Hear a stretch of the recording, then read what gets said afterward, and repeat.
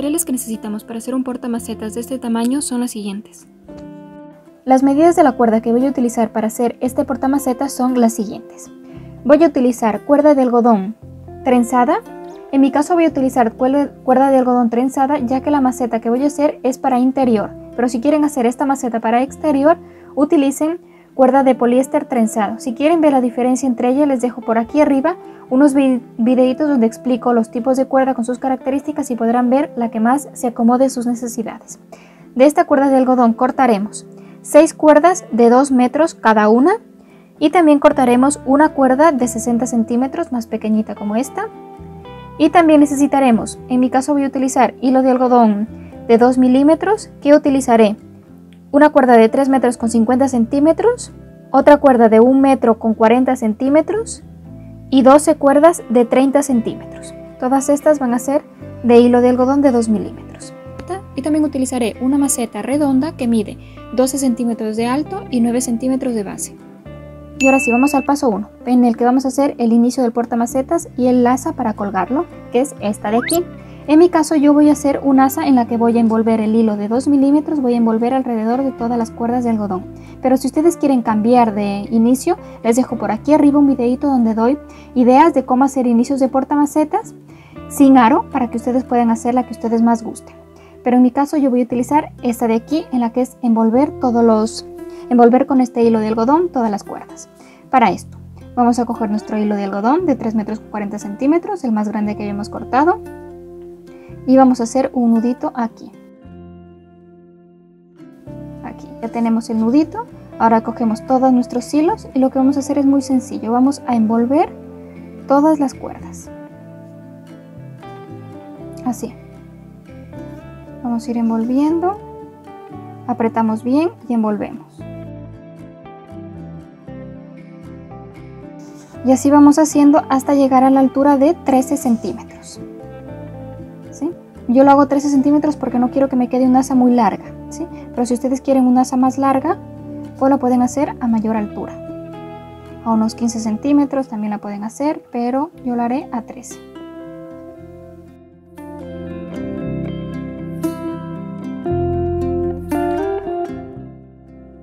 Listo, una vez que tenemos todo envuelto, vamos a hacer aquí también otro nudito. Listo, una vez que tenemos el nudito hecho aquí, ya tenemos los dos nuditos, vamos a coger estas dos cuerdas y vamos a hacer un nudo para unir las dos puntas, así.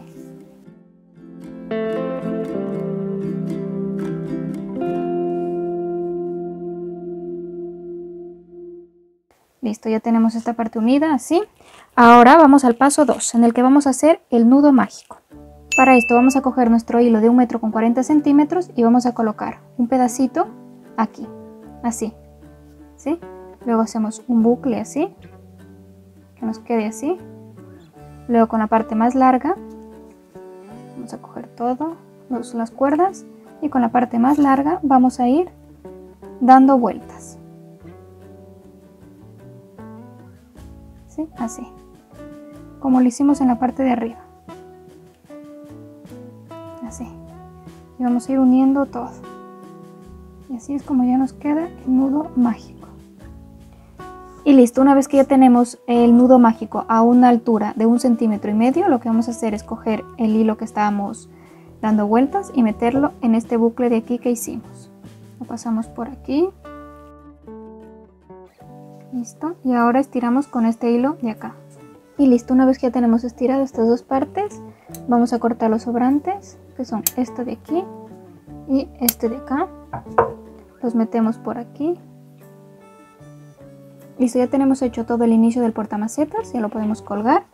Y ahora sí vamos al paso 3 en el que vamos a hacer el nudo decorativo del todo el portamacetas. Pero antes no olviden suscribirse en el botoncito rojo de ahí abajo para que estén enterados de todos los videos que vaya subiendo ¿sí? pueden suscribirse totalmente gratis es rapidísimo de hacer. Y así estarán enterados de todos los videos en macramé que vaya subiendo. No duden en suscribirse Listo, ahora sí vamos a hacer el nudo decorativo. Pero antes de hacer este nudo decorativo tenemos que saber en dónde lo vamos a hacer y a qué altura. La altura en la que vamos a hacer es de 30 a 34 centímetros desde la base del nudo mágico hacia abajo. Vamos a contar desde aquí hacia abajo de 30 a 34 centímetros para que nos quede así. bastante largo y liso, ¿sí? Para que se vea bastante fino y largo el portamacetas. Una vez que sabemos que va a 34 centímetros, ahora tenemos que saber en dónde van a ir colocados los nudos decorativos en forma de cruz que vamos a hacer.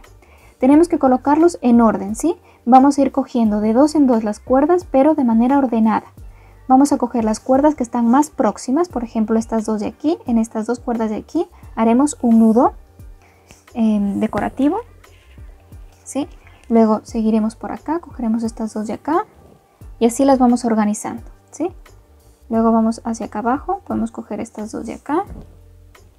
Esto es muy importante para que nos quede portamacetas bastante ordenado. ¿Sí? Listo, una vez que tenemos todas las cuerdas ordenadas, lo medimos desde la base del, nudo mágico hacia abajo 34 centímetros. Y ahora sí, vamos a empezar a hacer este nudo. Para esto vamos a coger las dos cuerdas que teníamos, cogemos una de ellas y la pasamos por debajo de la otra, así. Ahora la pasamos sobre, así. Y así que nos quede algo así. Listo. Ahora esta cuerda que de momento no la habíamos utilizado la pasamos por aquí y la pasamos completa. Y ahora esa misma cuerda la vamos a pasar por aquí, por este bucle. ¿Sí? Vamos a ir apretando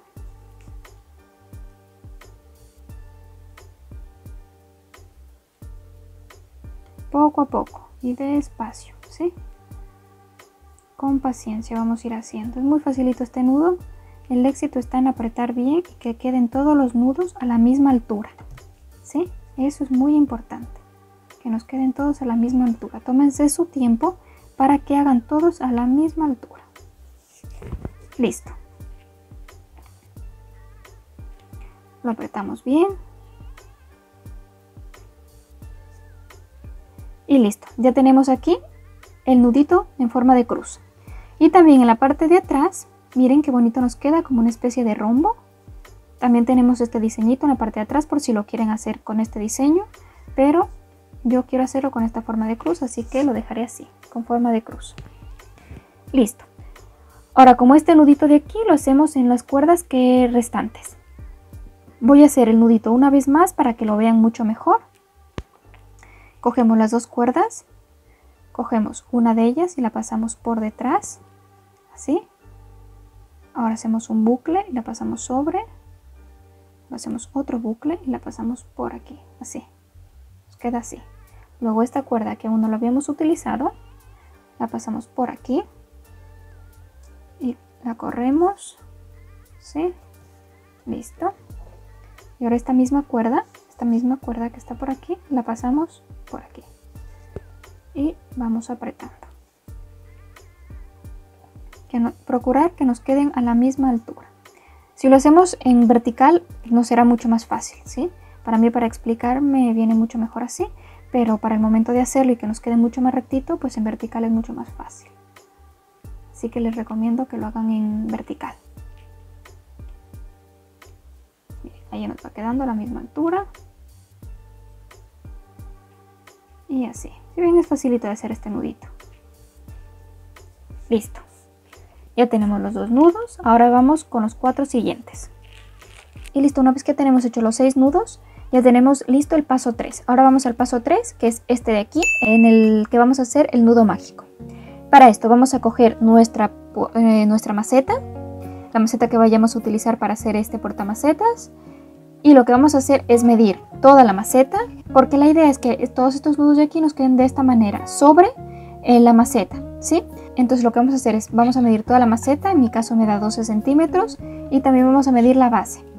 La base me mide 9 centímetros, la mitad es de 4 y medio a 5, entonces sería 5 centímetros aproximadamente. Entonces, sumamos 12 más 5, nos da 17. Entonces el nudo mágico nos quedaría desde el final del nudo decorativo hacia abajo 17 centímetros. ¿Sí? Una vez que ya la tengamos a la maceta también podemos subir y bajar el nudo mágico para ajustar el tamaño. Pero así más o menos vamos haciendo para ir más o menos midiendo la, la maceta. Listo, entonces ya tenemos los 17 centímetros desde el final del nudo hacia abajo, que nos da por aquí. Ahora cogemos nuestra cuerda de algodón, la más pequeñita que teníamos, y vamos a hacer otra vez el nudo plano.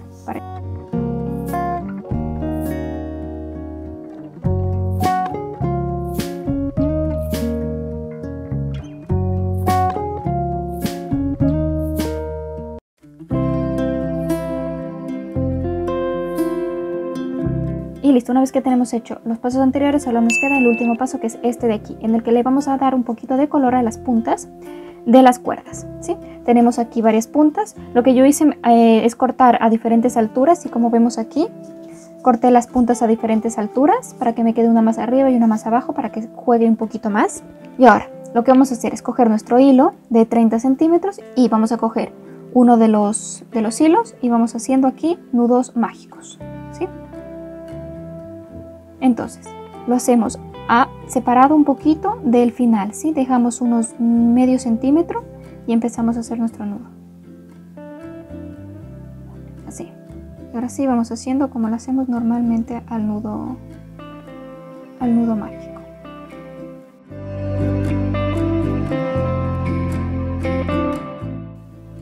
algo así, que no nos quede muy largo. Entonces metemos por aquí y ahora con este hilo de acá arriba pues vamos estirando ¿Sí? listo.